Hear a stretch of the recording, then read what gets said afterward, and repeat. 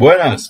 Nesse vídeo a gente vai conversar sobre a estratégia Barbell, ou Barbell, como vocês quiserem, é, que é uma estratégia que começou a ganhar bastante, vamos dizer assim, difusão, disseminação, é, com os livros, com as ideias do, do Nassim Nicholas Taleb, e seus livros, o, o, Black Swan, o Cisne Negro, e Enganado pela, pela Aleatoriedade, Fooled by Randomness, é, são livros bem interessantes, ideias bem legais, uh, de, de, um cara que é quantitativo, mas escreve muito bem e consegue de, disseminar uh, as suas ideias, que muitas delas fazem sentido e tem a sua, vamos dizer, tem sua validade, com certeza, é, mas é, tem que tomar cuidado, não é que você vai pegar todo o seu patrimônio e vai investir dessa forma, mas é uma estratégia para ser analisada, ser ponderada. Dentro sempre procure ter a, a visão da sua carteira de investimentos, do seu patrimônio como um todo. Tá ok? Então, vamos lá discutir o que, que é essa estratégia Barbell. Então, o Barbell. É, então, tá aqui o, um, meu Alteris, aliás, Barbell quer dizer Alteris, tá certo? Então, é, e a gente vai entender por que essa figura do Alteris, inclusive, ó, vou fazer até aqui, ó, aproveitar, já vou fazer minha musculação do dia com a ajuda da, do, do Taleb. É, então, inclusive, acho que vou fazer aqui ó, o livro dele, muito bom, então, eu recomendo a leitura. Tem em português. É, essa minha edição tá velhinha, porque ela é de 2007, 2008. Ah, então, tá aqui, ó, o Black Swan dele.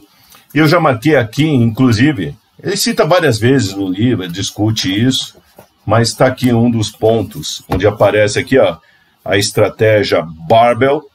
É, e a gente vai discutir essa estratégia para entender o que, que ela fala no, no Food by Randomness, é, ele também discute isso, mas está aqui, ó, no, no, no Cisne Negro, acontece. Os cisne negros são justamente os eventos, alguns, de maneira bem simples e simplória, são eventos extremos que acontecem, é, que não são capturados assim estatisticamente, ou às vezes assim, olha, a gente acha, ah, isso não vai acontecer, aí acontece. Muito bem, então qual que é a ideia da, da Barbell? Então, o Barbell. Então, a gente tem o Alteres aqui, e a gente tem no Alteres justamente dois extremos, tá certo? E a ideia basicamente é essa: a gente vai alocar os nossos recursos em dois extremos. Então, a gente não vai ter, e isso que ele fala ali no, no livro, inclusive ali onde eu tinha marcado, é, a gente não vai investir em, vamos dizer, é, em alternativas de risco médio aqui. A gente vai deixar o dinheiro sempre em extremos de alto e baixo risco ao mesmo tempo. Ai, tá, tá, pesado isso aí. Eu devia ter feito o exemplo com um pezinho menor. Então, aqui, ó, para vocês visualizarem, então eu monto aqui. Se eu colocar aqui num eixo o, o quanto eu vou fazer, colocar aqui a locação, a locação da carteira. Então, esse é um eixo onde eu vou colocar a locação da carteira, tá certo? É, e essa locação da carteira, a soma tem que ser igual a 100%, tá certo? Ou seja, dado aquele patrimônio que você vai investir, vai alocar os recursos, é, a soma dessas, dessas alocações tem que dar o 100%. E aí, justamente, o que, que ele fala? É seguinte, olha, é, eu vou pegar uma parte é, dos recursos, é, e ali mesmo no, no livro, ele fala naquela...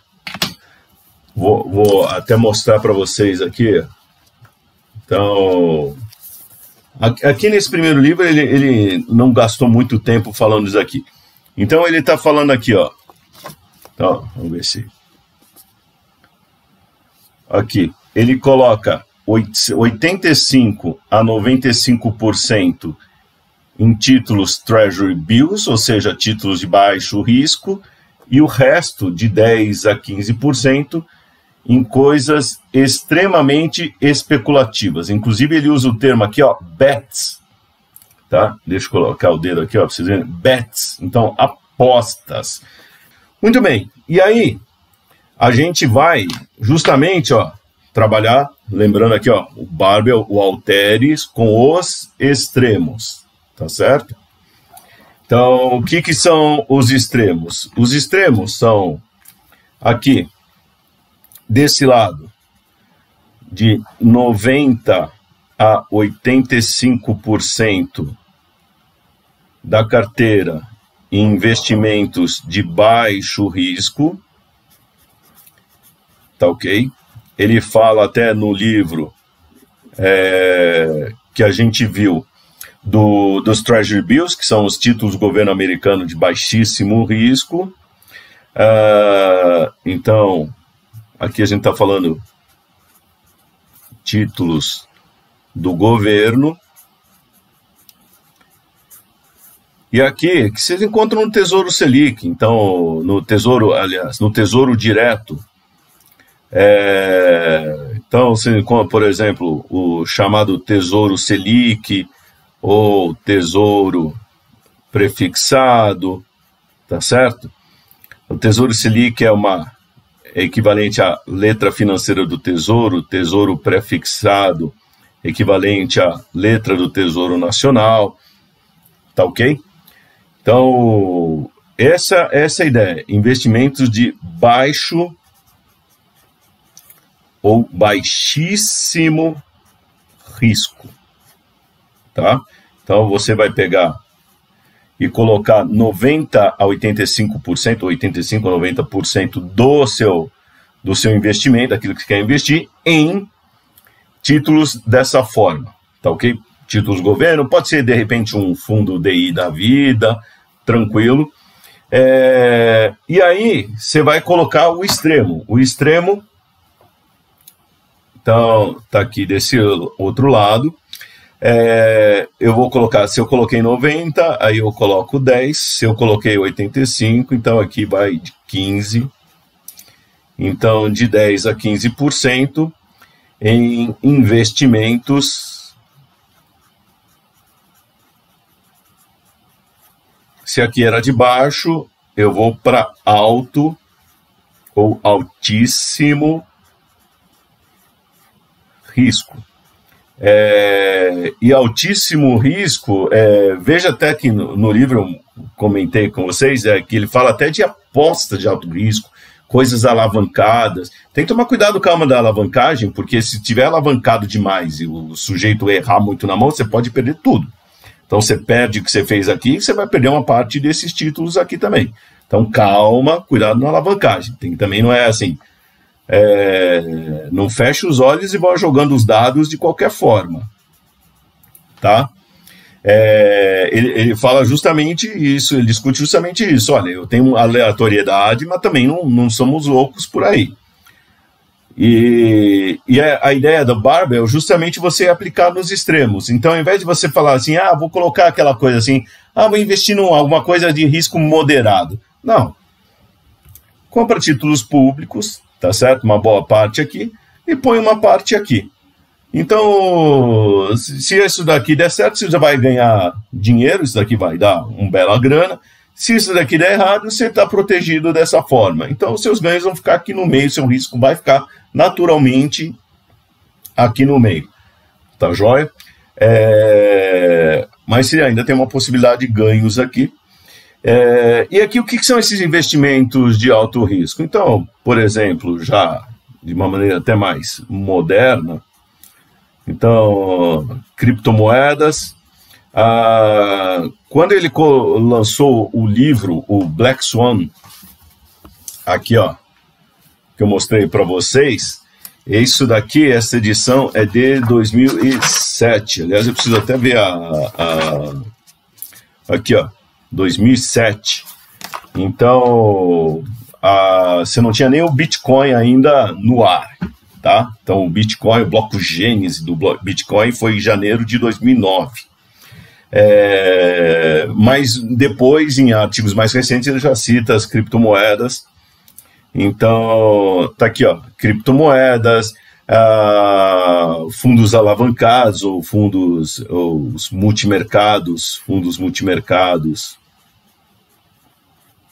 mas de alto risco, tá certo?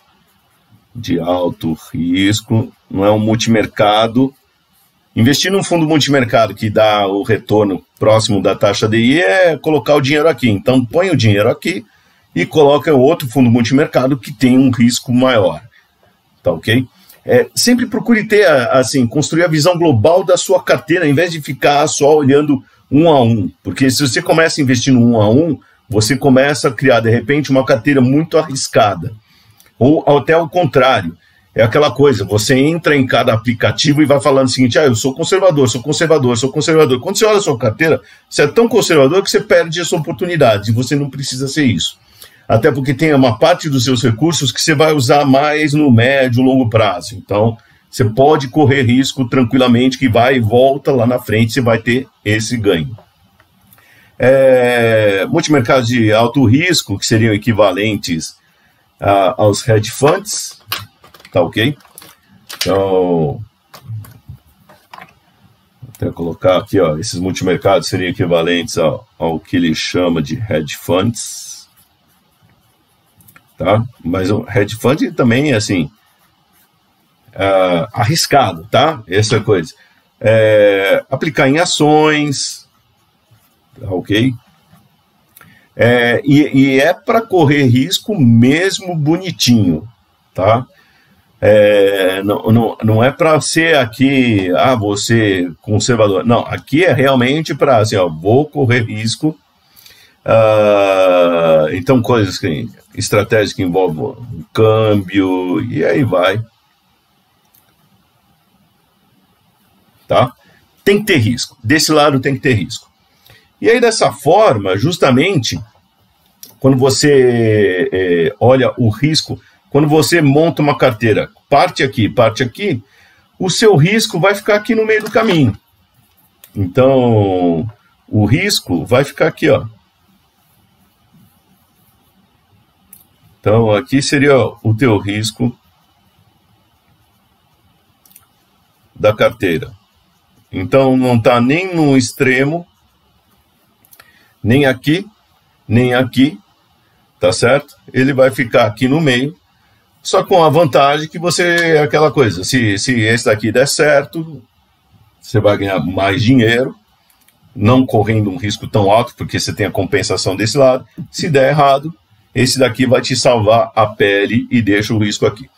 Então, o que ele propõe é justamente isso. É, e de novo é o nosso, ó, é o nosso Alteres aqui. Então, nem uma parte no alto risco, uma parte no baixo risco, e esse é o barbell, ou a estratégia do Alteres.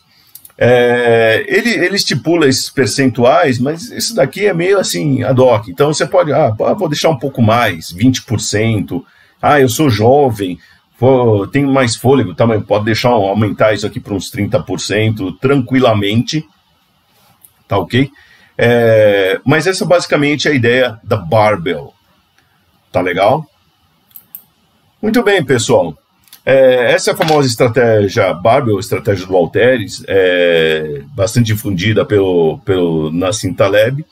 É, os livros dele são interessantes, eu recomendo muito, muito a leitura. Ah, o, o, interessante dessa estratégia é, é, justamente de você ter uma compensação do risco com um potencial de ter um ganho ali mais para frente. É, alguns podem até comparar isso como se fosse montar uma estratégia dessa, seria como montar uma opção sintética. É, é como se você comprasse uma call, tá? ou montasse uma carteira de, de renda fixa e tal, e comprasse derivativos, comprasse uma, é, opções de compra, e aí com isso você tem esse potencial de ganho se o risco acontecer. Então vocês podem também encarar dessa forma que é mais ou menos isso que ele sugere ou que está estruturando, tá bom? Então, essa daí é, é a Barbel. É, leia, leia os livros dele, as ideias dele. Quem quiser pode praticar.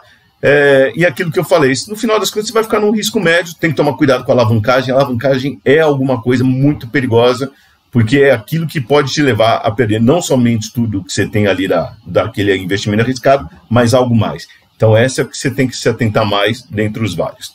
Tá bom? Até mais.